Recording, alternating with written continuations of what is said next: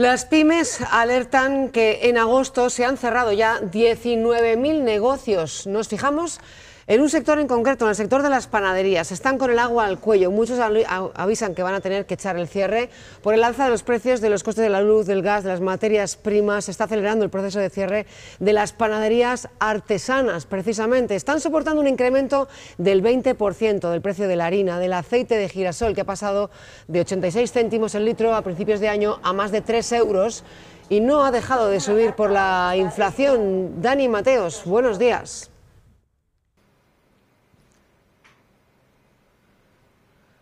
Buenos días, Madrid. Sí, hoy nos hemos venido a un obrador artesanal, tres letras pan, donde, como veis, bueno, pues ya se está preparando ese pan que dentro de, de nada se va a meter en el horno y, bueno, pues los ingredientes de esos panes están subiendo, han subido mucho a lo largo de los últimos meses y también la energía. Nuria Escarpa, buenos días. Muy buenos días. y esto os coloca en una situación un poco crítica, ¿no? Un poco complicada y en esa complicación lo que queremos es ver luz en el sector, sobre todo valorar el sector artesano valorar este sector que se hace con las manos, se elabora con las manos, eh, de pequeño comercio, comercio local, de proximidad, y entender cuáles son las circunstancias en las que nos encontramos sobre todo con garantizar una cadena de suministro que es importantísimo, todo lo que tiene que ver con nuestras materias primas, ¿no?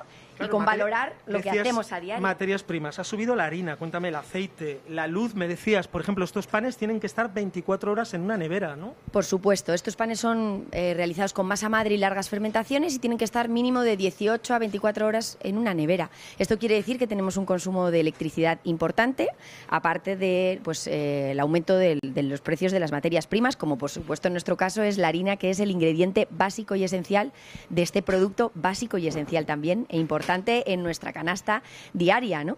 Ahora sobrevuela esa posibilidad de topar precios de productos básicos. Vosotros pedís que no se tope el precio del pan, porque eso, sobre todo en el caso de estos pequeños negocios os llevaría a la ruina, ¿no? Es importante que lo tengamos en cuenta porque es que eh, compañeros del sector y, nosotros mismos hemos tenido que ir subiendo los precios en función de lo que va subiendo también la materia prima y los costes ya no solo de la energía, de los ingredientes, sino del transporte también, que lo estamos sufriendo todos, ¿no? Y en este sentido, evidentemente, para un comercio local de proximidad y artesano como nosotros, este tipo de propuestas lo único que hacen es no ofrecernos la posibilidad de seguir sobreviviendo, porque al final eso es lo que estamos haciendo. El trabajo diario realizado con manos y con profesionales es necesario que se valore para que ese precio también se pueda valorar dentro de nuestros productos. ¿Creéis que eso puede llevar el cierre de negocios como este? algunos seguro que sí. O sea, no, no me quiero poner alarmista ni pesimista porque no lo somos y yo creo que en el sector tenemos que luchar para que esto eh, bueno, pues tenga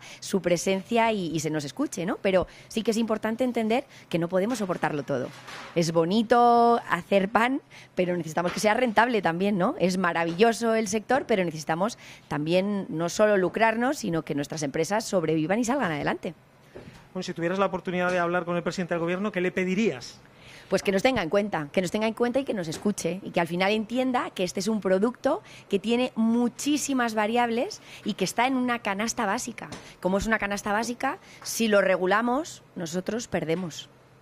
Va también en detrimento de, la salud, ¿no? Porque yo no sé si estáis notando que la gente por tema de cuestión económica se esté pasando a otros panes de peor calidad, pan industrial. Por supuesto que el tema del precio es un tema que se está comentando, pero el tema de la salud también lo es. ¿Por qué?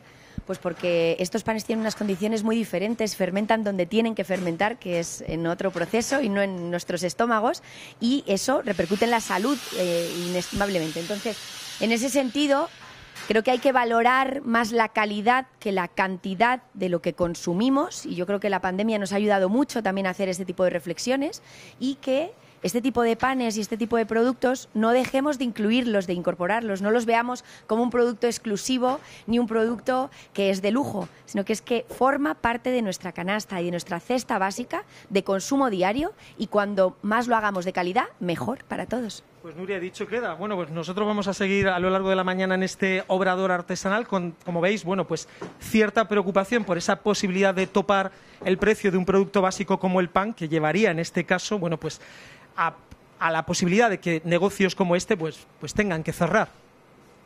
Gracias, eh, Dani.